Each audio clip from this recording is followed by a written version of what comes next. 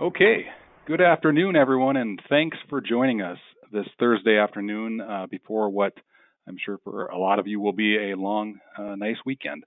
So, thank you for being here for today's webinar organized by BBI International and Ethanol Producer Magazine. From our studios here in Grand Forks, North Dakota, still covered in snow. we wish it weren't. Um, thanks for thanks again for taking time out of your day here to uh, uh, pick up this webinar series with ICM Inc.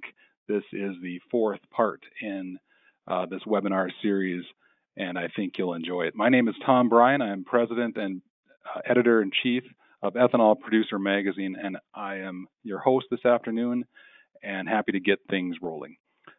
I'm joined today by Chuck Gallop, Director of Innovation at ICM Inc., who will be giving a presentation titled Lowering Your Carbon Score While Diversifying Revenue. Chuck's, pre Chuck's presentation is, again, the fourth in this series from ICM on its advanced processing package uh, that's now been adopted and being installed in multiple U.S. ethanol plants. As many of you know, this APP platform is essentially a suite of integrated specialty equipment, a sort of bundle of customized and proven technologies that together, uh, when combined, enable ethanol plants to achieve a number of positive outcomes that all sort of orbit around this exciting opportunity of high protein feed. In previous webinars, ICM has explained with precision how the equipment in the package works, and more specifically, how it can work with your current plant setups. I want to mention that we've also published an article on the APP system in our May edition of Ethanol Producer Magazine. Uh, that article uh, hasn't come out in print yet, but it is posted online. It's titled Equipping for High Protein. So you can find that on our website, ethanolproducer.com. So again, uh, we will uh, get started with this popular series here. Um, today, I believe Chuck will be talking about uh, the technology and installation of APP in the context of not just what the technology yields in the way of product, products and product diversification, but how it can boost efficiency, uh, lower energy consumption, and ultimately reduce the CI scores of the ethanol that you produce, which is, of course, what everyone's talking about right now. Efficiency, displacing, uh, displacing fossil energy use, and in some cases, straight up carbon sequestration. Before we get started today, I want to be sure to mention that this webinar is being recorded. It'll be available online, like all of our webinars. I think we'll get this one posted probably early next week on ethanolproducer.com, and ICM will also have it available along with the other three webinars on its YouTube channel uh, that is listed on our screen. Uh, when the webinar is posted, you'll be able to review it. You can watch it again, share it, um, and of course, reach out to Chuck if you have any questions later on. Um, but there is actually no reason to wait too long to ask questions. You can do that right now today. So if you have a question while Chuck is presenting, please type that into the webinar platform. We'll see your question. We'll be able to address that um, just as soon as the presentation is over. So we'll hold all those questions until the end um, and then address them. Uh, for those of you that might have questions that are, you know, private or better suited to be asked offline, we're happy to help you get in touch with folks at ICM to make that possible. We can do that. And with that, we will now hear a message from ICM before Chuck gets started.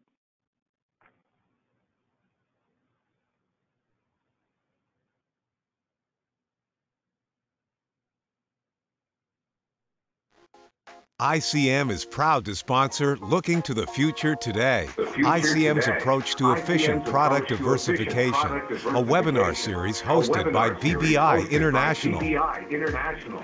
Since 1995, Since 1995, ICM is focused on innovating and developing new technologies to support the production of renewable fuels and animal feed.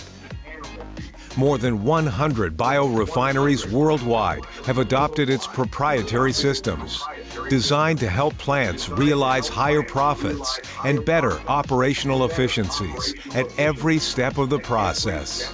A global leader in the biofuels industry, ICM offers design, engineering, manufacturing, implementation, and plant support. To date, ICM has completed more than 5,500 projects across more than 300 locations, including over 30 plant retrofits. Want to know more? Visit ICMInc.com or any of these social media platforms.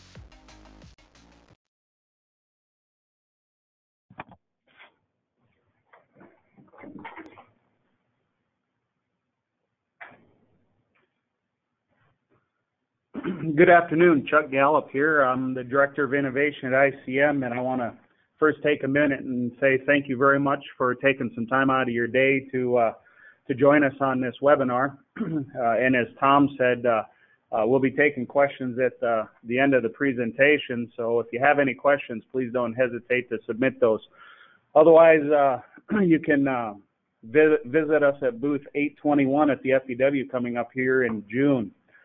Also, this four-part series is on ICM's YouTube channel. It's all lowercase ICM Global. Uh, so you'll be able to go out there and listen to the first three or re-listen to this one as well. Uh, otherwise, you can visit uh, Ethanol Producer Magazine's YouTube channel at Ethanol Producer Magazine, and uh, this webinar series will be there as well. So again, thank you very much for joining us today. So what we'll be talking about today is how you can lower your carbon intensity score while diversifying revenue. More specifically, how can you increase the revenue of the plant while increasing efficiency? So what we'll talk about is ICM's vision, vision for biorefinery, uh, how we approach diversifying revenue, and increasing efficiency throughout the plant. So uh, we'll also talk about the different value-added products within this presentation. And at the end of this, we'll wrap everything up into uh, what that means for your plant. Specifically, um, what happens to the bottom line of your CI score and potential revenue generation by employing ICM's APP process.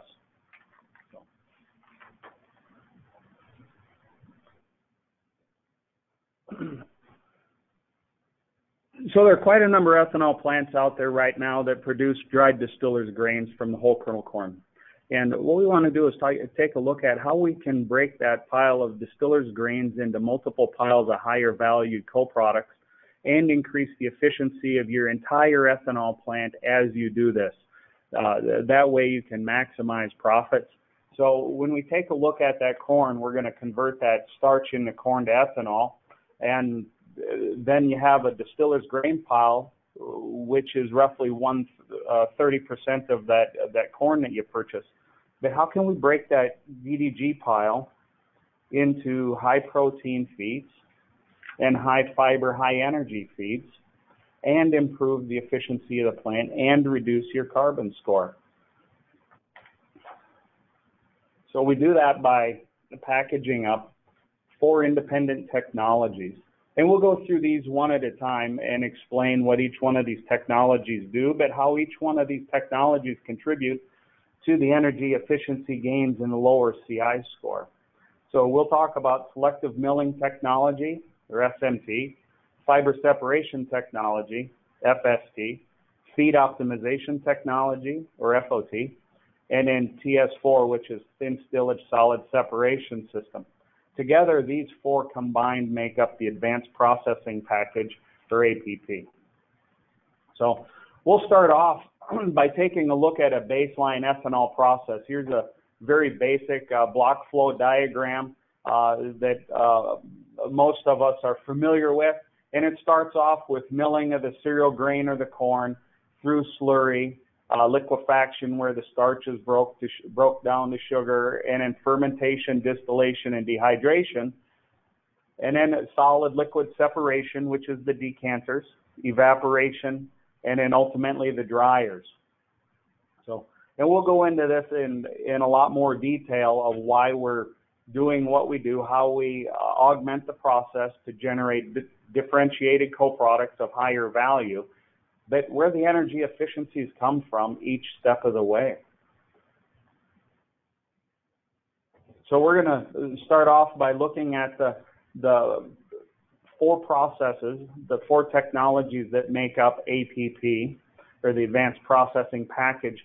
Uh, as they're integrated into that baseline ethanol plant that we just looked at. So we still have corn, we still have milling, we still have slurry, but off of liquefaction, we have SMT and FST, or selective milling technology and fiber separation technology. So this process, uh, you can integrate these two technologies individually or combined together, which removes the fiber pre-fermentation, uh, bypassing the rest of the process. Now, after fermentation and dehydration, the next technology is feed optimization technology, or FOT. This is a unique process that that uh, enhances oil recovery and continues to intensify the protein concentration, allowing greater than 50% uh, crude protein uh, and TS4 or thin, thin stillage solid separation system then removes any remaining yeast and, and fiber and protein and adds that back to the 50% crude protein to make a yeast enriched uh, Protomax, and uh, that's depicted here on the screen. So this is a, a really high value product here. The end result is distiller solubles of higher concentration, higher distillers corn oil yields, and increased plant efficiency. So how do we do that? Well, first we start with the milling step. The milling step is by far the most important step of the entire process. And your first step when we address this cannot be the limiting step or the limiting process, process for the technology. Henry Ford had said years ago that that you can have any color car you want as long as it's black. And so when he made that decision to make every every car black, he made decisions for his assembly line. First, black is not the first choice of color for every consumer. Two, black is the hardest color to paint. And three, black is the, the hardest color paint to hide any bodywork imperfections. So by him selecting the color black for every car, that means his painters had to be superior than anyone else, and his bodymen uh, making the cars had to make sure there's no imperfections. Otherwise, they'd show. So making that selection for a black car set the standard for everything else downstream. The way we grind this corn also dictates how everything else in the process will interact and it will also impact the outcome. So ICM takes a unique approach to the milling technology, and we are looking for in this process uh, consistent milling or consistent particle size granulation. Not uniform granulation, but consistent. If it's consistent, then we can optimize every downstream process from there. Okay? Here's an example of what we're talking about. On the right-hand side, you'll see a fine grind where that corn has just been pulverized to a, a fine grit-like consistency. On the left-hand side, which is labeled right size grind, is something more like what we're looking for. And uh, so we'll get into and explain why we're starting off with right sizing of the feedstock through the process. Okay. So after we grind the corn and we slurry it and it's liquefied through traditional means, then from there we go into selective milling technology. From here, you're wet milling this corn to expose more of the starch away from the fiber and the proteinaceous material. And then we're also expressing the fat out of the corn germ as well. So this is a way to, to reduce the amount of residual starch and fat that ends up on the protein post fermentation and distillation. After selective milling technology, then we go to FS to your fiber separation technology. Now we'll get into this in quite a bit of detail as we go through the presentation. But when we're looking at this, we have the selective milling technology, which includes a multi-zone screening apparatus and a milling technology within that process.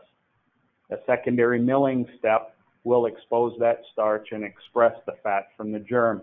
And then the final step of FST is a proprietary rotary press that ICM has teamed up with Fournier Industries uh, to produce, and that apparatus is phenomenal. So I want to draw your attention to that rotary press and help explain why this is a, a unique uh, apparatus or device that we use within the fiber separation technology package. And um, this might help explain how we're able to improve our energy efficiency uh, as we remove fiber from the process stream before fermentation.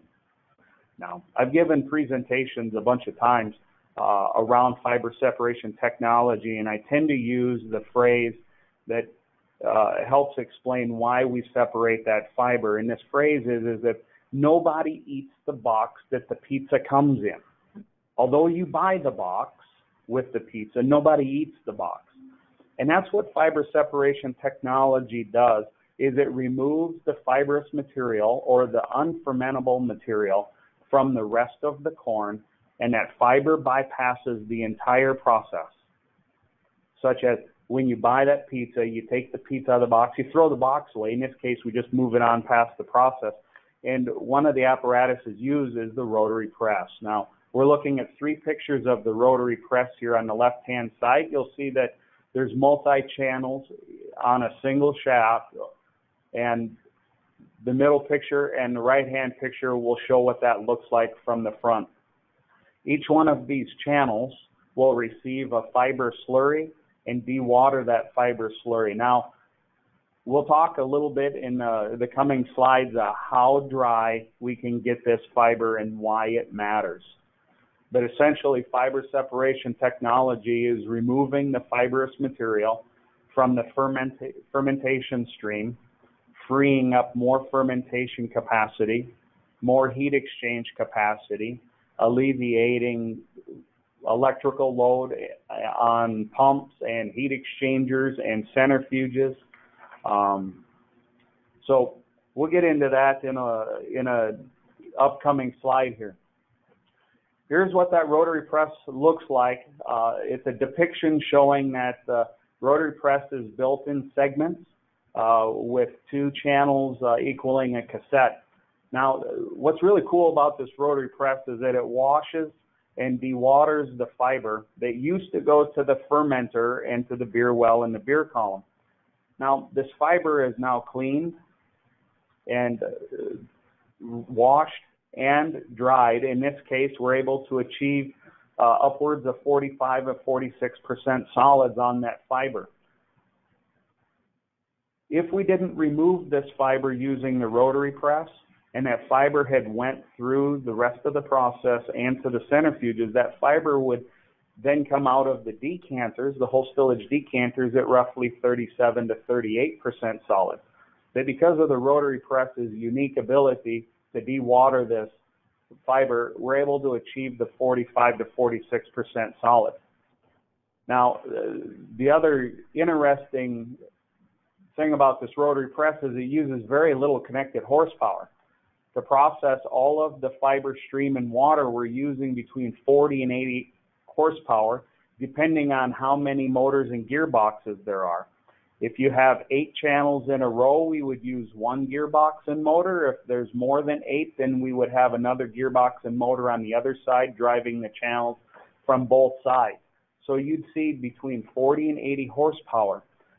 And the max speed of this road, this press is between four and a half and five and a half RPM.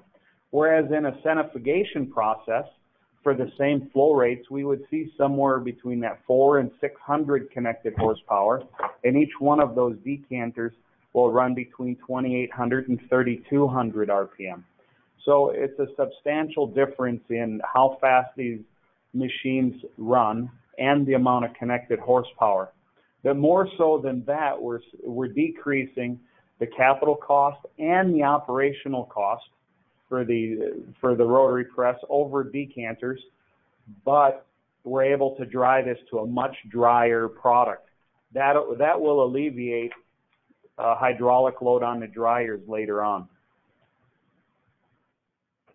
So here is a video, uh, uh, and it might be difficult to see, but you have rotating uh, plates inside the rotary press that dewaters the fiber, and you'll see the water pass through that screen uh, in in that sight glass there, um, and you can see how slow this rotary press really turns it. In in this case, it's probably running in that two and a half to three RPM range and achieving mid 40s percent solids uh, consistently.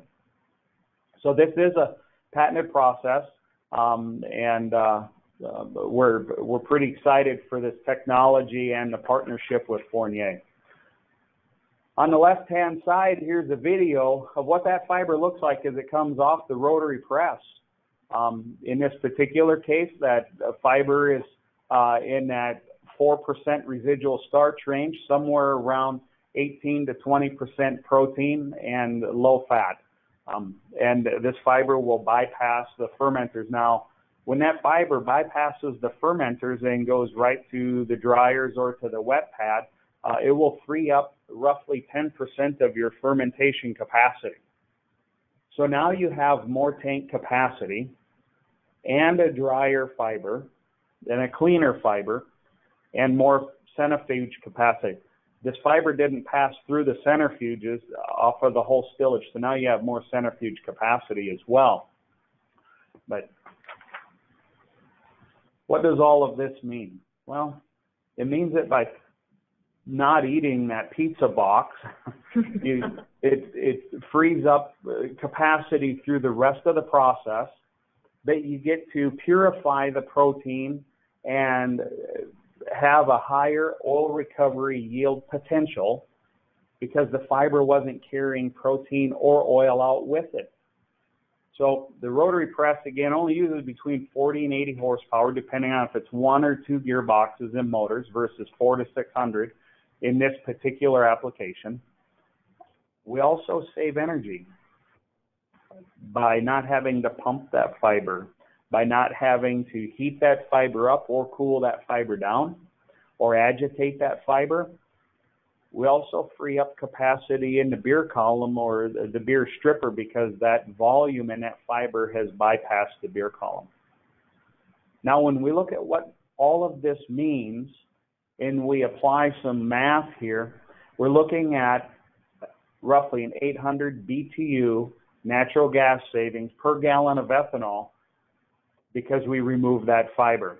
Now there's a very conservative number here because what it's based off of is raising the solids of that fiber from 37 solids from the decanter to 40% solids or and 40% solids from the syrup.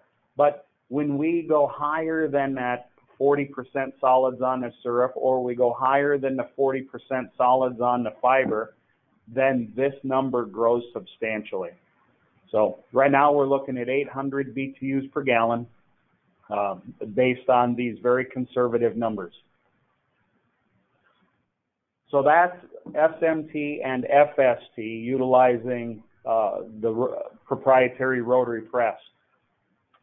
The result by pulling that fiber out is now you have a defibered liquefaction that goes through fermentation and distillation which means that that fiber doesn't go through the beer column, which means now that the whole stillage has been defibered and your whole stillage decanters no longer have to be adjusted for that fiber volume. That fiber has a huge impact on how the decanters perform. So the next step of the process is to optimize the decanters.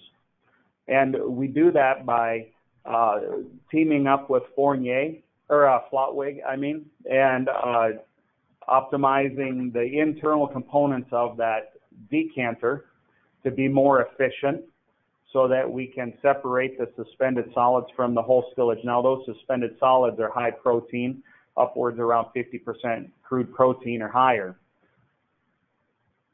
The changes that were done to those decanters You see in a stepwise progression here uh, in these pictures, we start off with the original scroll, and this is what most of the decanters out there have, uh, no matter who the manufacturer look at, is. This is what those scrolls look like. But a few years back, Flottweg had improved the scrolls by going to a slotted scroll, and, and this was to uh, improve the throughput and the operational consistency, allowing a drier cake and a cleaner centrate. But fast forward a couple years, and Flottweg had produced this exclusive FOT scroll that we use in the APP process uh, that could also be used for FOT oil recovery process as well. But this exclusive FOT scroll allows us to uh, increase the throughput and uh, increase separation efficiency. So we see a reduction in electrical use and a much drier cake coming out of those decanters. This video is depicting how dry that cake is and how flowable that cake is coming out of those decanters. This is what the Protomax looks like coming out of those decanters before the Sedicanter cake uh, is added to it and it's dried. So you can see this material is, is really dry and flowable.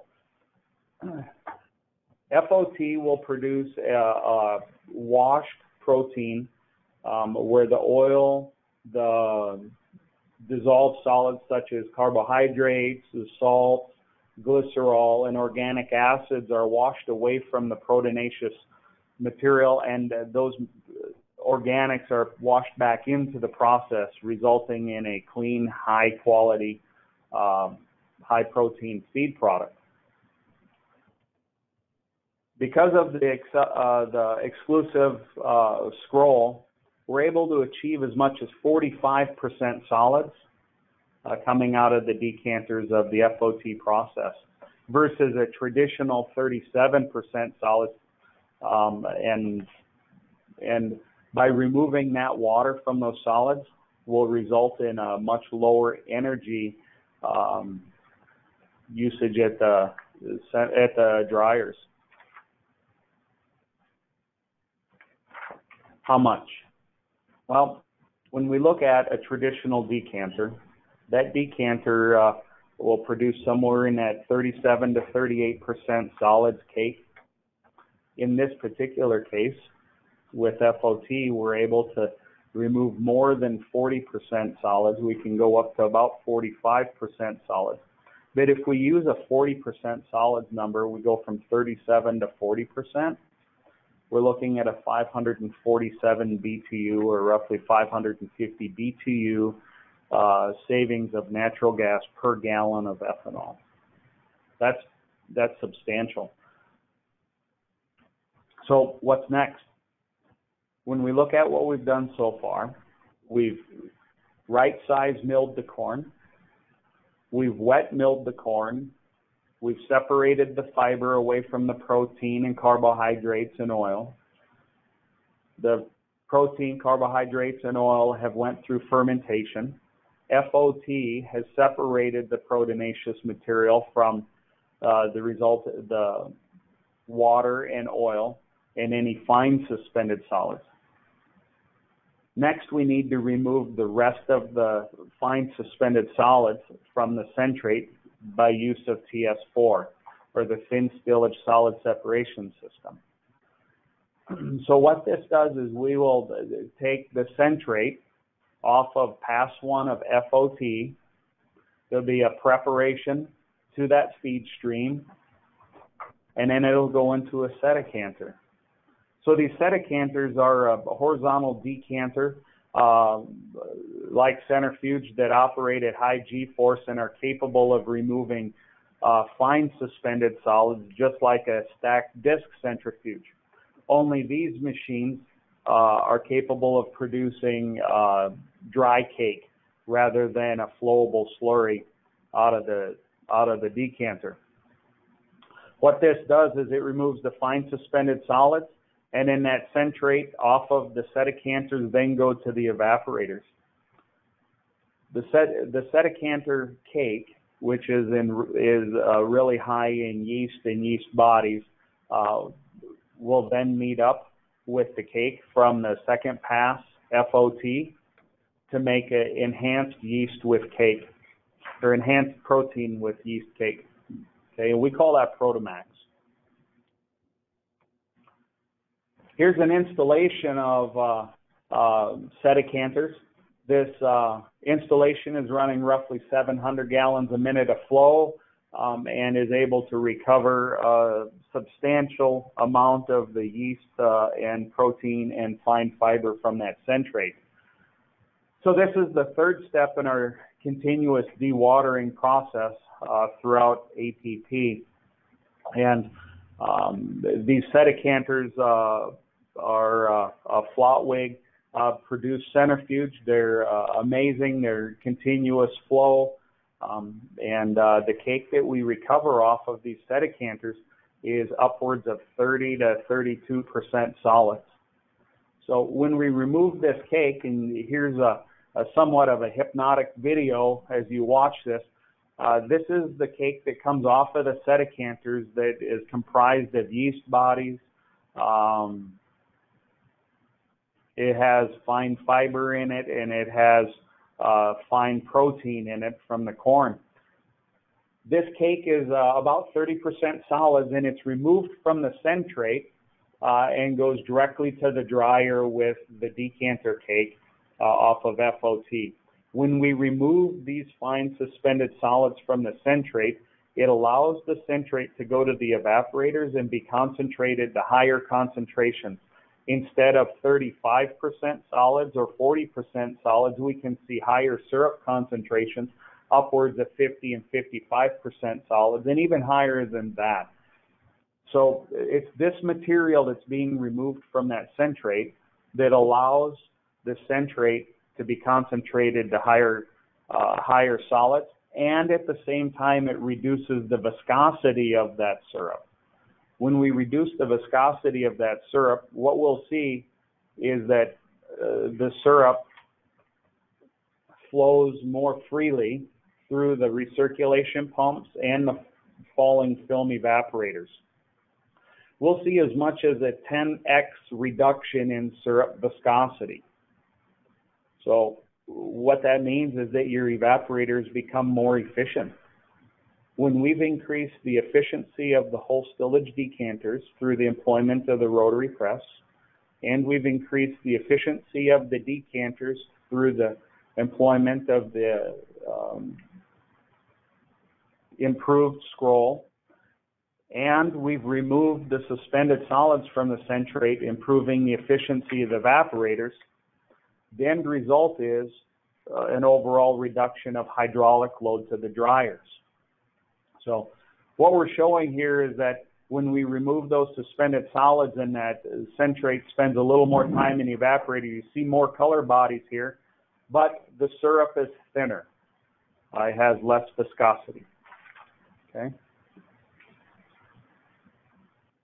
So the water concentration in that syrup uh, will go down or the solids will go up. In this particular case, we go from roughly 35% solids, and we can be as high as, in this case, we're showing 70% solids, and we've seen concentrations higher than 70% solids.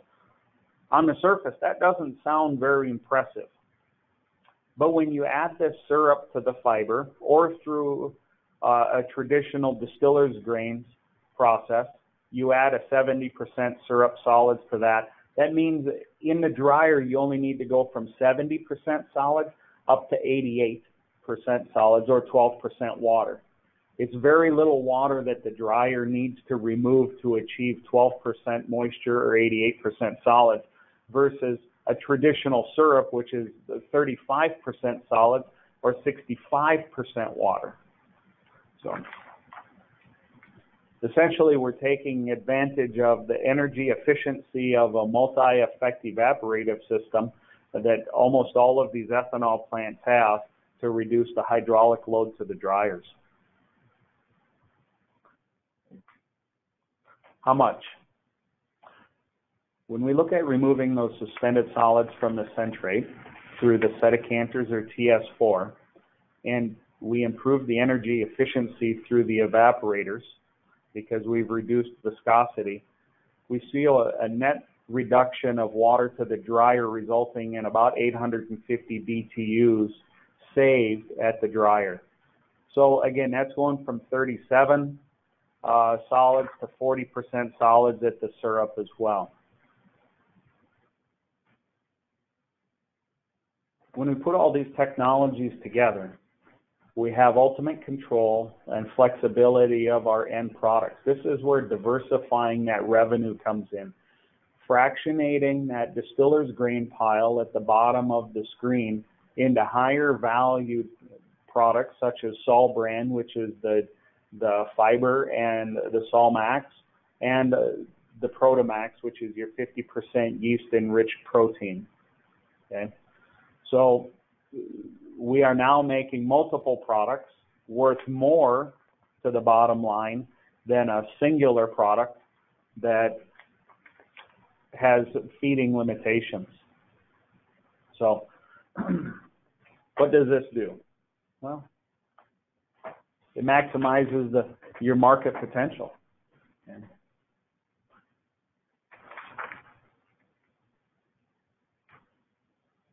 So when you employ APP, you have flexibility of how much Protomax you produce. Um, if you want to continue to make a traditional distiller's grains at 11 pounds of distiller's grains per bushel of ground corn, there's enough protein in there to make three and a quarter pounds of 50% protein. Okay? So essentially, we're taking 14 and a quarter pounds of distiller's grains and then making three and a quarter pounds of Protomax at 50% protein and 11 pounds of traditional distiller's grains. But you have the flexibility if you want.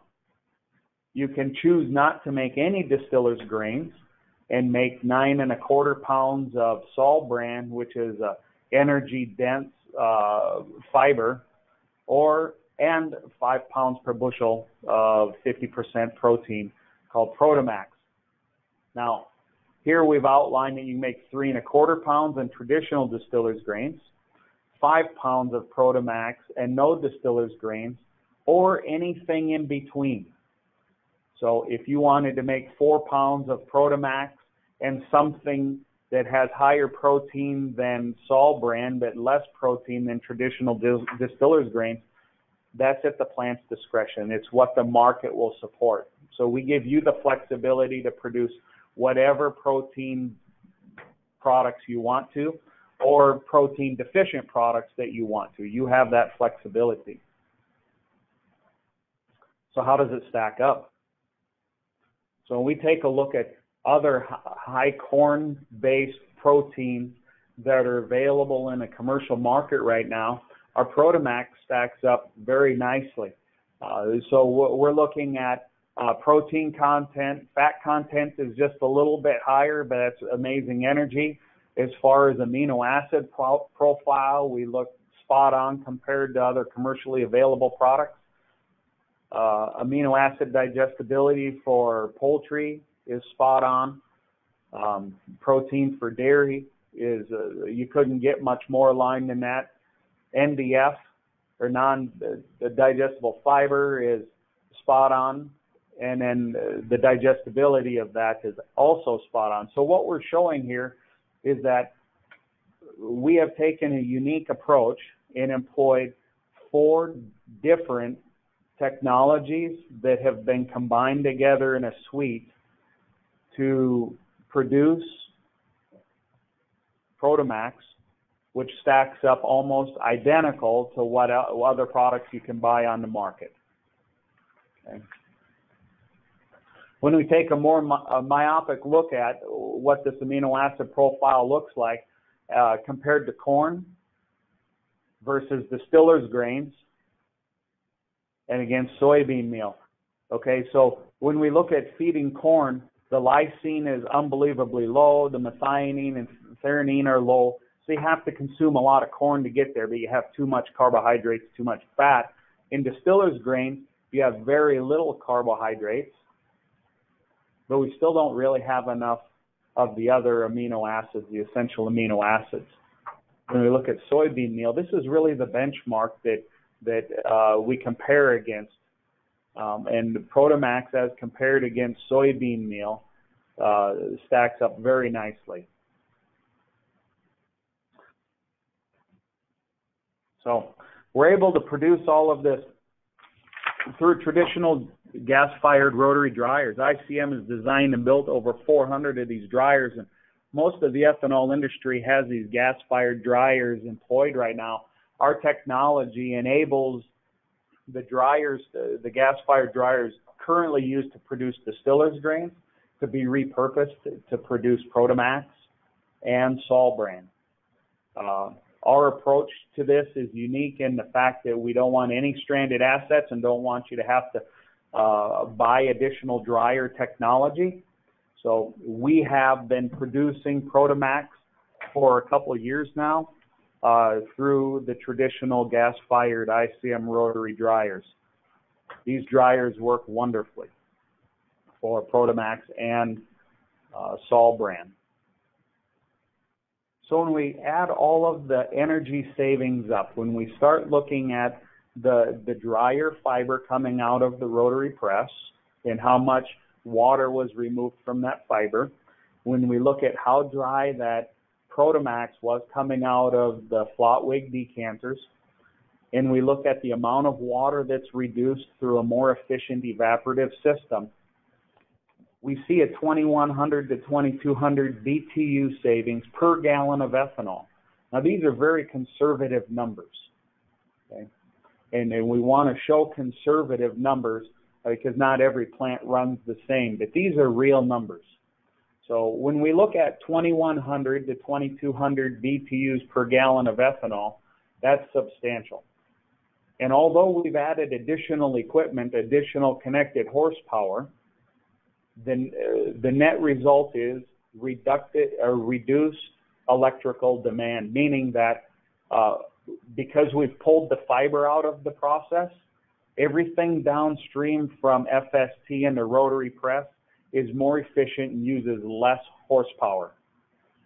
When we improve the centrifugation, everything downstream of there requires less horsepower the net result is a 5% reduction of electricity per gallon of ethanol produced. That too is substantial. So what this shows is that when you employ uh, our multifaceted, unique approach to producing diversified products, we can not only produce amazing diversified products such as a Protomax, but we can do it while reducing energy demand through your plant. We can do it by reduce and at the same time reduce natural gas demand at the dryers, which re- increases your overall plant efficiency. This will reduce your CI score. It shows between a two and four point CI reduction. And when you take that to to real dollars and cents, we show that you're between 3.2 and 6.4 cents per gallon in carbon credits. Now, there's a, a little caveat to that. Here we're valuing the 6.4 at $200 per ton, but current market shows that it really $130 or so per ton. So you're in between that 3.2 and 6.4 cents per gallon. And you've produced a diversified product worth more than distillers grains alone. We also see an increase in, in free oil availability and distillers corn oil recovery. Those two are are amazing in their own right. So when we when we summarize this, we have a unique approach of continuous dewatering throughout the entire process that improves the efficiency of the evaporators and the dryers. Let's face it, we've as an industry, we've done an amazing job of mixing corn and water in the first part of the process. We've gotten really good at separating the ethanol from the corn and the water through distillation. And we're working on perfecting separating the rest of the corn from the water. And that's the back part of the process. But the way we approach it can either cost us more energy and lower our CI or raise our CI score, or we can employ ICM's unique approach and reduce your CI score and improve your overall plant efficiency. So we reduce natural gas usage. The way we package this together requires lower capital investment. We see a lower operational cost. And we produce very high quality feed products.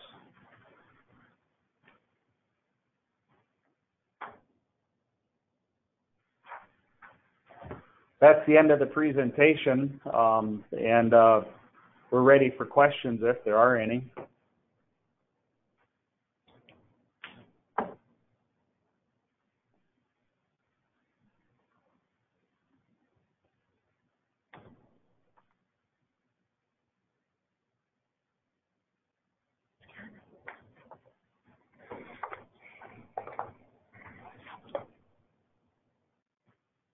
Tom, we're ready to turn it back over to you.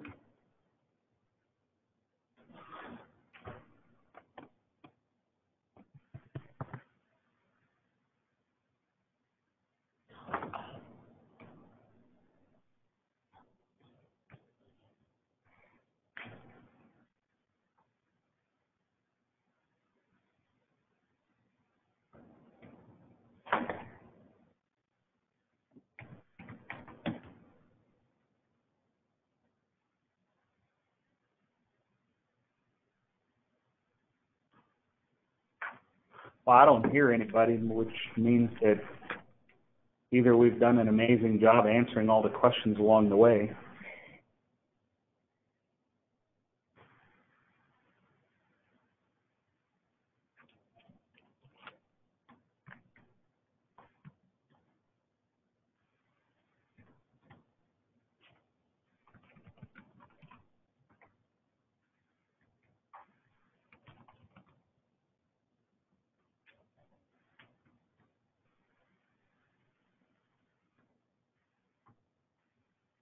Okay, can you hear me okay? Oh, we can hear you now, Tom. Okay. Uh, one of the first questions I've got here for you is um, whether or not uh, the advanced processing package came along from, you know, more serendipitously than uh, in terms of the CI reduction benefits. Did did ICM, and this is kind of a tough question maybe to to tackle right out of the gate, but um, as ICM produced these various um, platform technologies, SMT, FST, FOT, and TS4 over the years, um, did it envision, did you guys envision it having a, a carbon reducing effect? Or was it uh, primarily made for diversifying, you know, products and maximizing revenue, and just sort of, as I said, serendipitously led to this lower carbon effect? Can you speak to that? Wonderful question. Uh, probably uh, one of the more in-depth ones that I've had along the way. Uh, what I would say is that the answer is yes. That we did approach this to reducing CI score, but there is some serendipity here, and that is is that um, when we approach this, uh, let me back. I'm gonna use an analogy here, okay? And we we look at the ethanol plant as a vehicle to get us from point A to point B whether it's in time or uh, on a place on Earth here. And you want to get there faster, you can either put a bigger engine with more horsepower in your vehicle. Now it'll get you faster, that get you there faster, but it won't get you there with uh, a higher efficiency. Or you can take a look at how the car is designed. You can make small incremental adjustments to things such as tire air pressure reduce the weight of the car, reduce air uh, uh, drag on the car. Uh, so that's what our approach was: is to take small incremental uh, bites out of this this huge um, demand that, that the industry, in fact, the, uh, the, the world is asking of us. First, not only uh, we we don't get to control the price of the corn from a, from an ethanol producer standpoint. So the price of the corn is set, and we really don't get to dictate the price of the distiller's grains or our co-products. So our opportunity is only in the process itself between grinding the corn and drying the distiller's grains. So we look at it and say, how best can we approach this in incremental steps that each and every producer can afford uh, and can employ or, or install um, as, as it's available to suit their needs. Take, for example, one plant might see a benefit from FOT for oil. Right now, oil's at 80 cents a pound, and they might see that the best thing that they can do right now is contact ICM and ask us how we can improve their oil recovery yield by employing FOT or they might be interested in removing fiber and producing uh, just a 50% protein product, or maybe they have evaporative capacity concerns and they want to employ just TS4 and uh, improve their evaporation. So when we took a, a, a, a good hard look at what we wanted to do for technologies, is we wanted this to be um, be able to be deployed in small bite-sized pieces and not have any stranded assets uh, along the way. Um, there are other approaches to it. You can you can uh, install technology that makes high protein material, but it's only treating uh, one part of the stream. We wanted to reduce uh, efficient or uh, reduce um, energy consumption along the way and improve efficiency every step of the way. And that starts at grinding the corn and removing that fiber from your fermentation feed. Okay, well, thanks for that answer. And uh, we're going to get into some uh, very specific questions coming in from the audience, and then I'll jump to some big picture stuff as well. Um, questions coming in right now. Uh, first one is How do you handle this is specific, but if you could, how do you handle the additional condensate? That that is an amazing question. Um, and so yeah, you produce additional condensate. A lot of the plants um, are are pulling in excess water more so than what's coming in through your CO2 scrubber. So most of the plants bring in all their fresh water through the CO2 scrubber or other areas in the plant such as like a, a wash down station or if they have leaky seals on their pumps and so you're always bringing water into the plant in one place or the next. Uh, our unique approach to this will take that evap condensate and repurpose it uh, back to uh, areas um, that, that, you're currently bringing fresh water into that don't need to be clean fresh water. Okay, take for example, um, it's it's a way of taking a, a unique look at things. Take for example, all of our lavatories use drinking water to flush with. But if you're limited on water or how you use that water, we ask the question is it necessary that that toilet uses drinking water or fresh water to do what it needs to do? And the answer is probably not. So when we look at the CO2 scrubber, you got to ask the question does it need to have fresh water or does it just need to have cool water? All right. Um, another question uh, coming in is related to uh, CDS, and it says at 70% solids, does the new CDS lead to increased scaling as a result of the higher mineral content? Great question as well. Uh, we haven't seen that. Not only did we not see that uh, at, at, our piloting facility in St. Joseph, Missouri, but we don't see that accelerated or um, um, amplified uh, inorganic scaling at a facility that, that's currently running these parameters. Um, in fact, it's quite the opposite. Because of the lower viscosity, um, we don't see the um, the high uh, fouling on the tubes.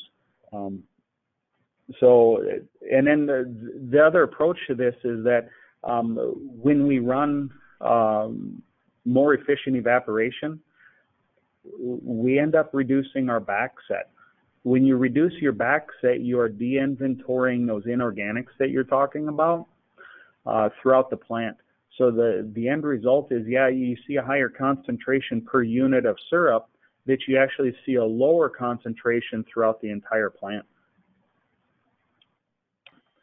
I'm going to jump to a bigger a bigger picture question here, Chuck, um, and that is, uh, could you identify uh, the largest factor related to CI reduction um, in terms of your presentation, in terms of the APP package? Um, I have a feeling it's not just one thing, but but if you had to, you know, put your finger on on the biggest factor for kind of overarching factor for CI reduction, how would you define that for people?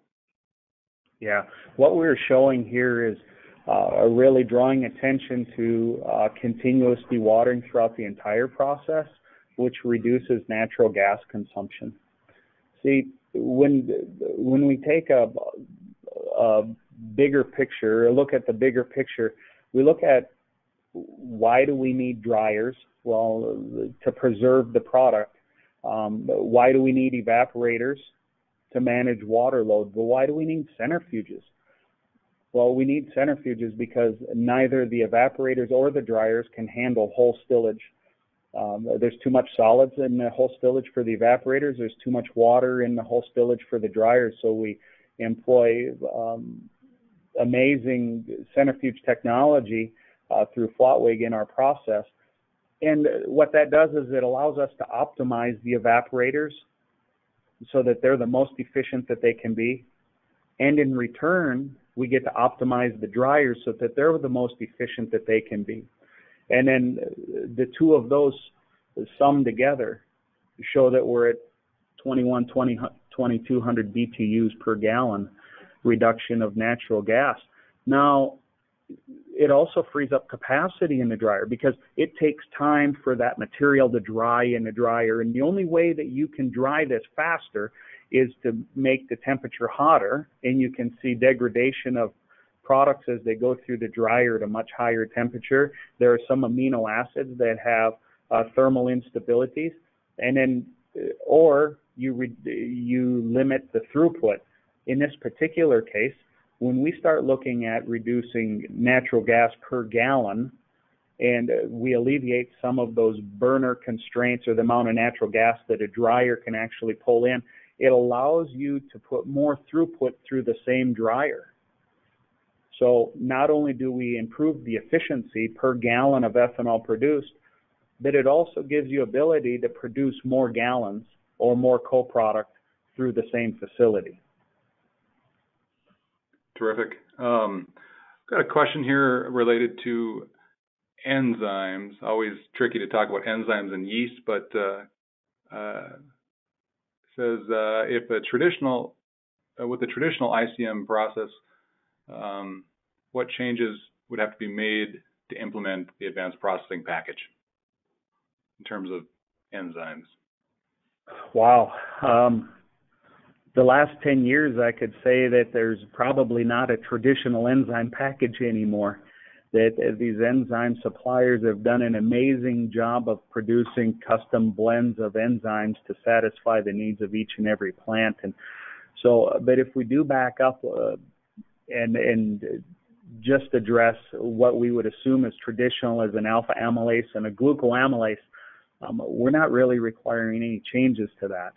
Um, we we do talk about um, not really wanting to see proteases used in the process because the, one of the goals here is to produce as much uh, high protein material as possible.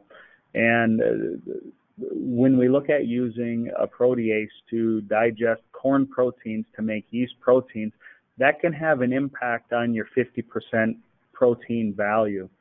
Um, and so we don't have a hard stance on that, uh, on enzyme use and and but we we do see that you can influence negatively um, the the end product, the the Protomax, um, if you mm-hmm. use proteases. I wanted to ask you a, um, a question about your current uh, the current adopters of this technology. I know there's currently three three ethanol plants, uh, three or four that have that are currently installing the advanced processing package. Um, can you can you tell us what, if any, characteristics the early adopters of APP have? I mean, maybe it's you know maybe it's hard to hard to pinpoint. Are there certain um, certain characteristics these producers have that make that made them uh, jump on APP sooner than others? Oh, I, I don't know that without um, understanding what uh, the investors at each one of those plants were looking at in terms of market drivers or goals for return of investment for the investors. Uh, I would be um, just guessing at that, but you know they're out of the 200 plus ethanol plants uh, here in North America, or even more than that, there are some that are so forward thinking that they want to be first in line. Then there's some that are a little less risk adverse. They're not willing to be the first, but they'll be number one to be number two in line. And there's others that are are uh, so conservative that they're okay being the second to the last to install a new technology. So I look at these plants as those plants that are um, forward thinking and uh, willing to um, use uh, use some of their capital to diversify their products and uh, do it sooner than uh, most everybody else. Speaking of uh, forward-leaning, forward-thinking ethanol producers out there, um, carbon capture and sequestration is one of the more uh, forward things that, that are that is being discussed and pursued. Um, what what if any ways uh, does does the advanced processing package sort of relate or tie into uh, if if at all to uh, to efforts to sequester CO2? Yeah, that is a really forward-thinking question, and a good one at that. The answer is is that a- APP uh, or any one of the individual technologies doesn't have any impact on uh, any CO2 sequestration uh, types of uh, technologies out there. So um, this integrates into your process uh, and it doesn't have any inhibitory um, effects of carbon sequestration. That makes sense. Um, got a question here from an attendee about related to the cost of corn. Uh, you know, we're seeing seven dollar corn, and so um, you might have to help me out with this question. I think I'll, I think I've got it here, but it says to confirm the fiber from the fiber press contains four percent starch. Uh, is this four percent the total starch of the incoming corn? If not, how much of the incoming starch uh, bypasses the firms? Um, yeah. That, got that? Okay. Yeah, I, I understand the nature of the question there, and that's a that's a that's a good one. It's been um, it's been bouncing around since we inst- started installing FST back in 2013 on residual starch, um, and so when we look at if we're at four percent residual starch on that fiber, and that fiber makes up roughly one third of a distiller's grain pile. Most of the starch in that distiller's grain pile is coming from the syrup. So 4% uh, here is actually driving down uh, or can have a, a, net benefit in starch reduction of a distiller's grain pile. Um, so it's a fraction of a fraction is what I'm trying to say here. So that's 4% uh, starch of the of the five pounds per bushel of distiller's grains. Okay. Um, let's see here. We have a question uh, related to uh, we can pop back up. Um, there was a question related to uh, whether or not ICM has ever explored the idea of green hydrogen uh, rather than uh, rather than natural gas uh, to reduce CI. A little maybe a little off subject, but uh, care to address that one? Yeah, it's actually. Uh, I'd love to take that question. Not necessarily the the, the green hydrogen per se, but we do have other CI reducing technologies such as our gasifier technology, where we're taking um, uh, wood wastes uh, and uh, turning them into turning that that waste into a producer gas, and then it goes right into the boiler, and we're we're offsetting the natural gas demand that way as well.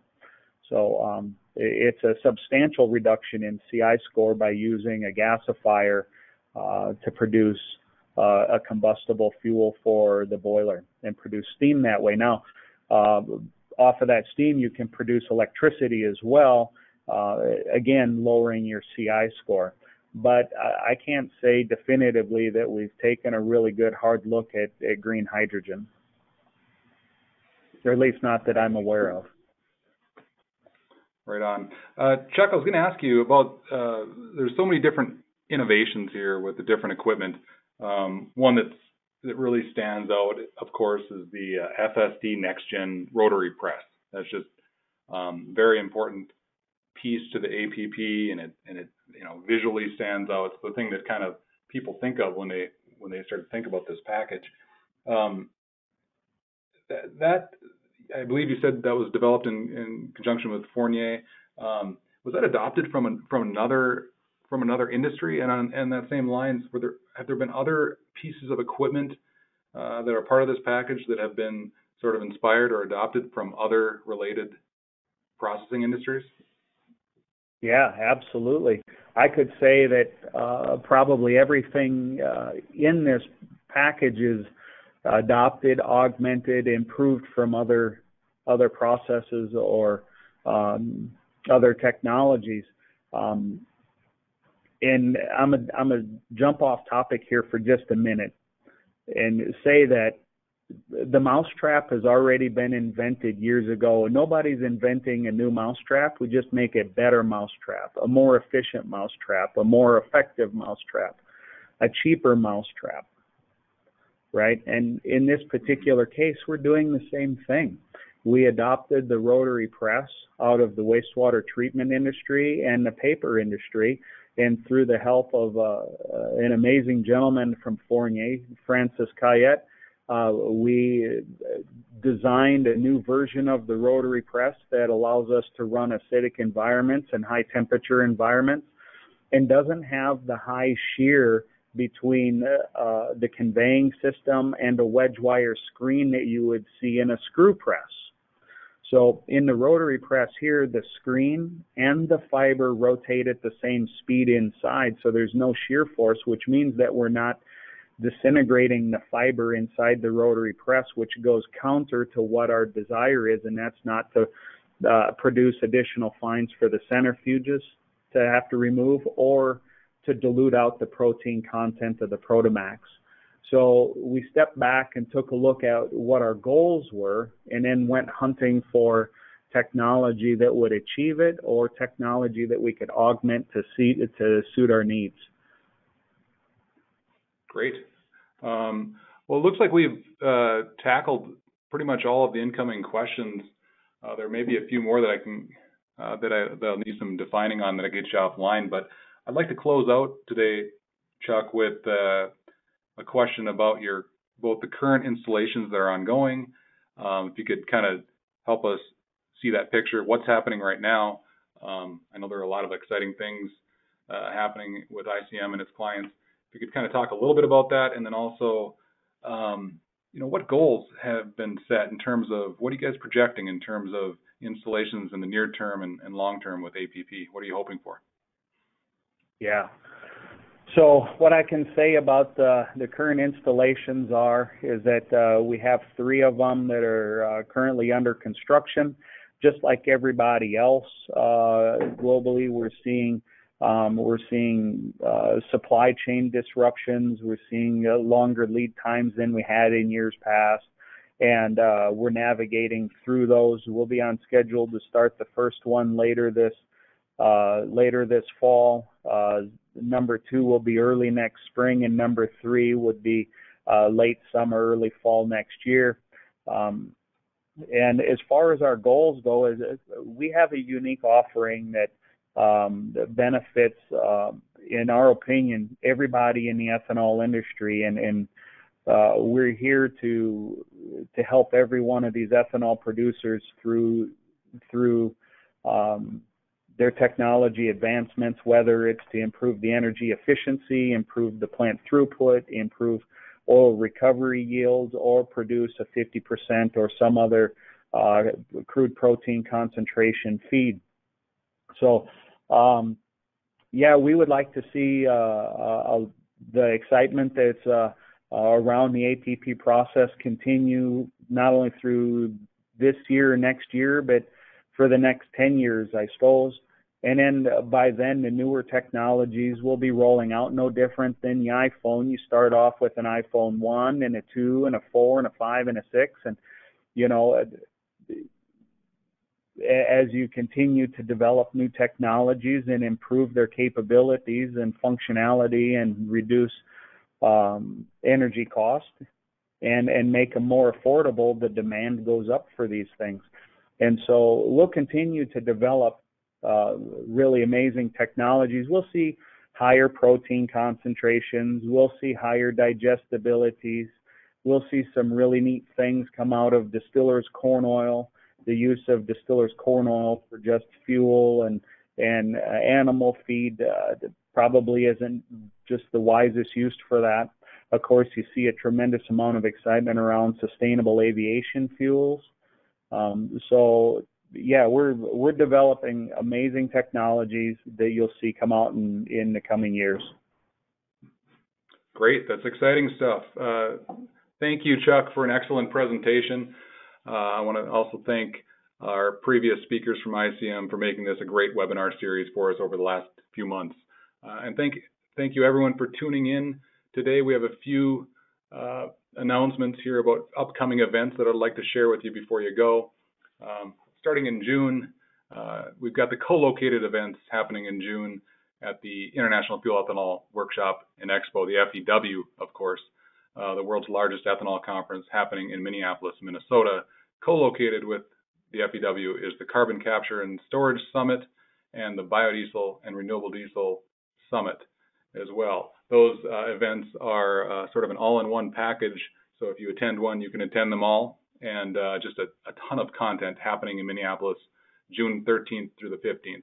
Uh, this coming fall, we also have a National Carbon uh, Capture Conference, a standalone event happening in November in Des Moines, and then finally uh, early next year. The International Biomass Conference and Expo, one of our favorite shows, happening in Atlanta. If you're uh, that show is not just for for biomass producers. If you work in the ethanol industry, anything in biofuels, there's a lot of content there for biofuels producers as well. So we hope you can join us for all of those upcoming events. And with that, uh, I just want to thank everybody once again for tuning in to today's webinar. Have a great day.